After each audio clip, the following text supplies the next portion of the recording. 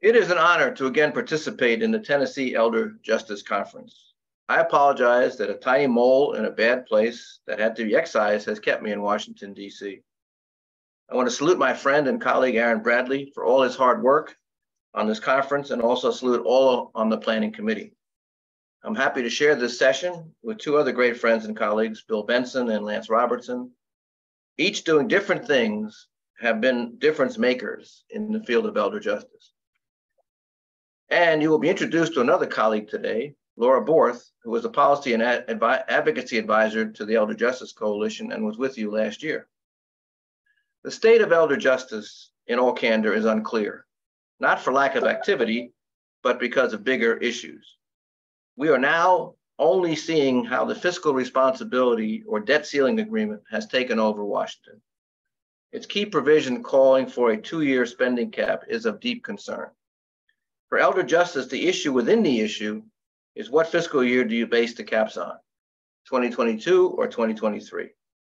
If 2022, adult protective services were not even funded under the regular appropriation process, and the long-term care ombudsman got money that was less than before.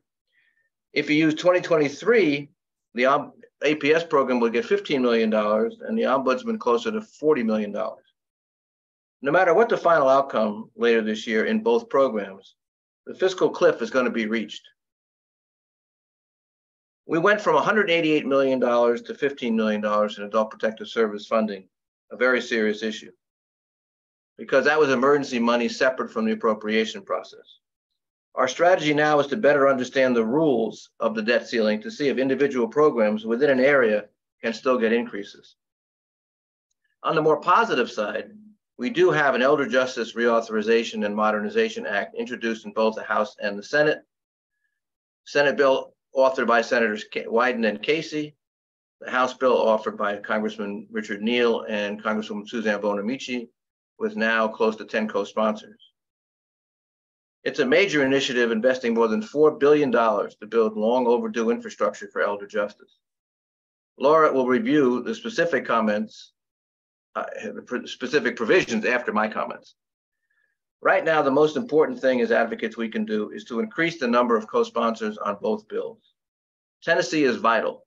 You need to educate and inform Senators Blackburn and Hagerty about co-sponsoring the Elder Justice Reauthorization Bill and by doing so, making the bill, which it should be, bipartisan.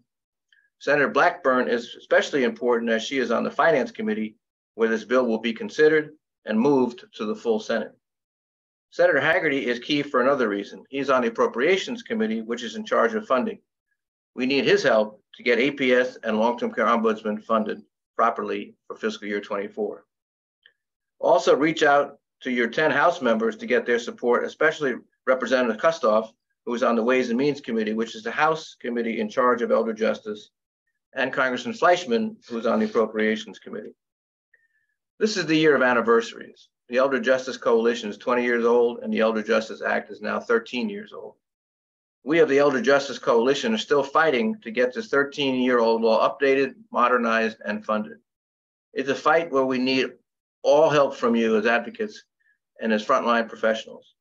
This conference is an important convening. Let it also be a call to action so we can say with pride that we are achieving elder justice in America by working to prevent elder abuse. Thank you.